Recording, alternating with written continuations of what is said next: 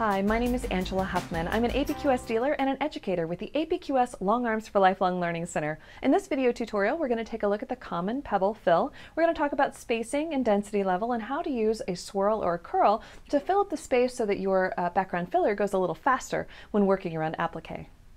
A nice background filler uh, around applique is pebble work, and I'm sure you've probably seen it.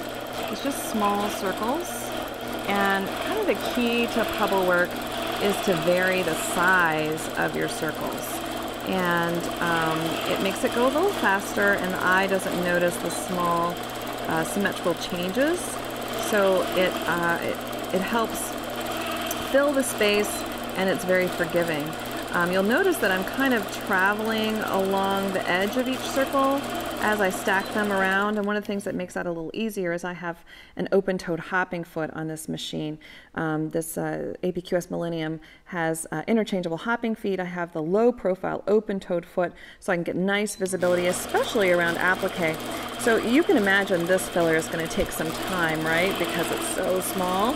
So what happens if I make every other circle kind of bigger? And I'm actually going to put a little curl in each one and then I'm going to stack little uh, pebbles around it and then make another large pebble with a curl and then go in and fill with smaller and medium-sized pebbles.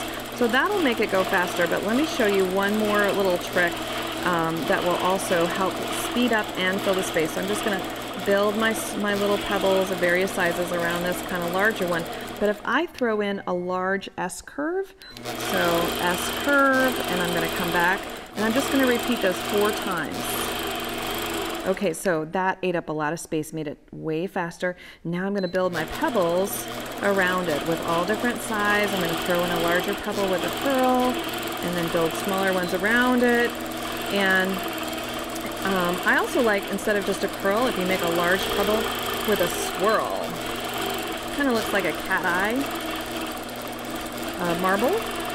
And then just keep building your pebbles around this S curve and it'll add some flow to the applique, to the filler design behind your applique, and that big S-curve helps to kind of eat up some of that space. Okay, so now look here, I've got myself kind of wedged in. I've got my, I came down here to fill in these pebbles and these pebbles already existed, so I'm kind of locked in here. So I'm just gonna travel along my existing path and it's very forgiving in that way. I just have to be careful with my backtracking.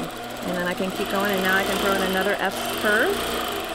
One, two, three, four, and then put in my pebbles and go around it. So try this on your next uh, applique quilt. I think you'll enjoy the density level. It looks really good on modern quilts as well.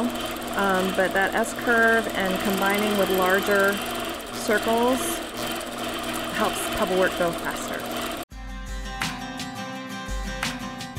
Thanks for watching. For more information about APQS machines, please visit apqs.com. Be sure to like us on our Facebook page and join the conversation. Subscribe to this YouTube channel so you're notified every time a new video is posted.